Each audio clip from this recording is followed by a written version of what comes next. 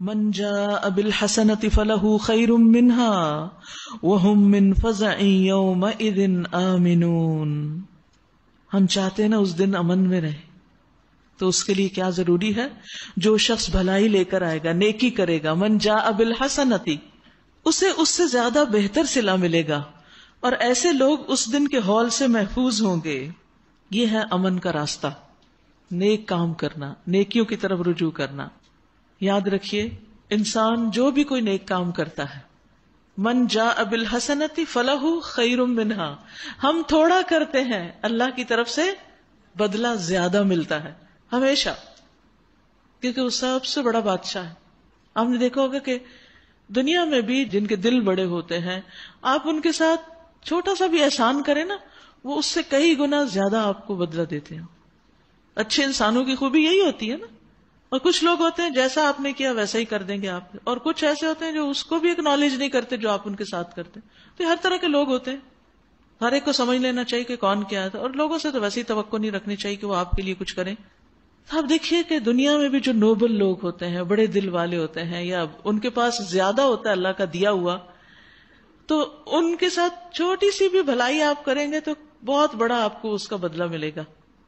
یہ تو انسانوں کا حال ہے۔ ولی اللہ مسل اور اللہ رب العزت وہ آپ کے چھوٹے سے جسچر پر، چھوٹی سی شکر گزاری پر بھی آپ سے خوش ہو جاتا ہے راضی ہو جاتا ہے اور اس کا بدلہ کئی گنا زیادہ دیتا ہے آپ کو۔ خواہ آپ کی اچھی بات ہو، اس پر بھی اجر دیتا ہے۔ بولنا کیا مشکل ہے؟ آپ الحمد للہ کہتے ہیں تو کیا ہوتا ہے اس سے؟ پتا ہے آپ کو؟ میزان بھر جاتا ہے۔ سبحان اللہ۔ ہاں؟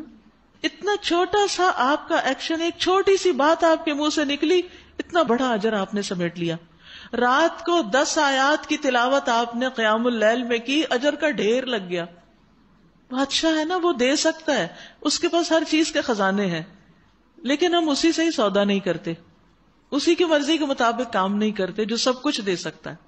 تو من جا اب الحسنتی فلاح خیر منہا۔ کتنی بڑی خوشخبری کہ اللہ کی رضا کی خاطر اگر تم تھوڑا بھی کرو گے تو وہ تمہارے عمل سے بہتر بدلا ہوگا۔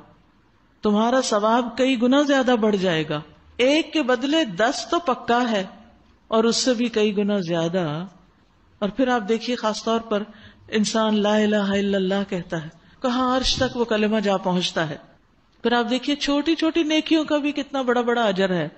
رسول اللہ صلی اللہ علیہ وسلم نے فرمایا، جس نے مسلمانوں کے راستے سے تکلیف دہ چیز ہٹائی اللہ اس کے لیے نیکی لکھے گا اور جس کے لیے اللہ نیکی لکھ دیتا ہے، اس کی وجہ سے اسے جنت میں داخل کر دیتا ہے۔ ہر وقت مواقع ہیں اچھے کام کرنے کے، ان کو اویل کریں۔ یہ نہ سوچا کریں، میں ہی کیوں کروں؟ ہر کام میں ہی کروں؟ نہیں، آپ کو موقع ملا ہے، آپ شکر کریں کہ مجھے موقع ملا ہے، میں کروں اس کو۔ اور دعا کرنی چاہیے کہ اللہ، تو مجھے چن لے، تو مجھ سے یہ خدمت لے لے۔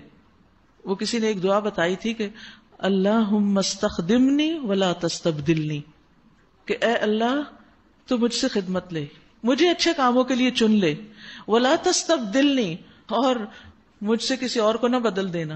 یعنی مجھ سے یہ موقع، یہ اپرچونٹی لے کے کسی اور کو نہیں دینا، مجھے ہی دینا۔ اور دوسرے کو اور نیکی کرے جو مجھے تو نے دیا، میری صلاحیت اور میری طاقت کے مطابق یہ کام تو مجھے سے لیتا رہے۔ آپ دیکھیے کہ ہر بندے کا ایک نیش ہوتا ہے، ہر ایک بندے کا ایک فیلڈ ہوتا ہے، ہر بندے کا ایک خاص نیکی کرنے کا ایک دائرہ ہوتا ہے جس کی توفیق اسی کو ہوتی ہے۔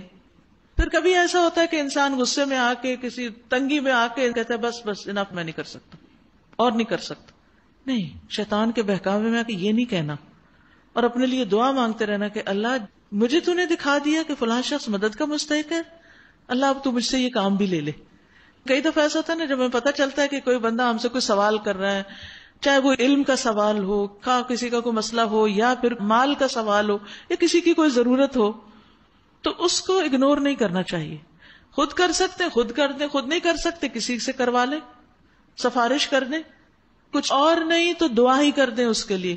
یا اللہ تو اس کی مدد کر، میں تو اس قابل نہیں تو ہی کر دے بیزار نہ ہو یہ نہ کہیں کہ اچھا ایک اور کام آ پڑا، یا اللہ، کب جان چھوٹے گی۔ پتہ نہیں مجھے کو کیوں کہتے سب لوگ؟ اللہ نے آپ کو چنا ہے، اس لیے کہتے ہیں آپ کو آ کے یہ شرف ہے آپ کا، یہ آنر ہے آپ کے لیے، عزت ہے آپ کی۔ یہ اللہ نے آپ کو موقع دیا ہے، اس پہ کیوں دل تنگ ہوتے ہیں؟ فلا وہ خیر منہا اس کے بدلے جو آپ کو ملے گا، آپ خوش ہو جائیں گے۔ اور اگر یہ مواقع نہ ملے تو زندگی کیا ہو؟ بیکار لوگوں کی زندگی کیا ہوتی ہے؟ جن کے پاس کوئی کرنے کا کام نہیں۔ اور خصوصاً بندوں کی خدمت اور بندوں کی بھلائی کے کرنے کا کوئی کام نہیں۔ صرف اپنی ذات کے کام ہے۔ کھا لیا، پی لیا عشو عشرت کر لی۔ زیادہ بڑھنے لگے تو پھر ایکسرسائز کر لی اور فٹ ہونے کے چکر میں پڑ گئے۔ بس یہی زندگی ہے، صرف آپ ہی آپ ہیں۔ اور دنیا میں کتنے لوگ ہیں جو ہماری مدد کے مستحق ہیں۔ کس کس طرح لوگ تکلیف میں ہیں۔ کیوں نہیں سوچتے ہم ان کے لیے؟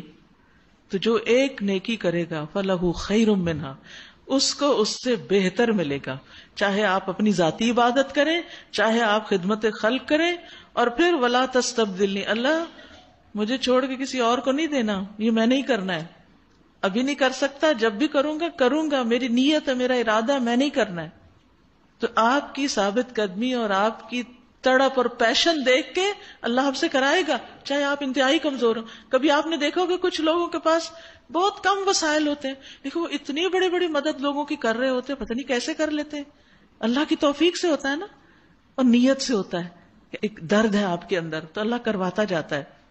اور پھر آپ دیکھیے رسول اللہ صلی اللہ علیہ وسلم نے فرمایا، اللہ عزب جل فرماتا ہے، جو شخص نیکی کا ایک عمل کرتا ہے، اسے دس گنا بدلہ ملے گا۔ یا میں اس میں مزید اضافہ کر دوں گا اور جو شخص گناہ کا ایک عمل کرتا ہے، اس کا بدلہ اسی کے برابر ہوگا، یا میں اسے معاف بھی کر سکتا ہوں۔ منجا اب الحسنتی فلاح خیر منہا من فضا یوم ادن آمنون۔ اور سب سے بڑی خوشخبری کیا؟ قیامت کے دن کی گھبراہٹوں اور خوف میں امن۔ سکون سے بیٹھے ہوں گے۔ سکون سے۔ اور یہ نیکوکاروں کا بدلہ ہے۔ یہ امن نیکی کے نتیجے میں ہے۔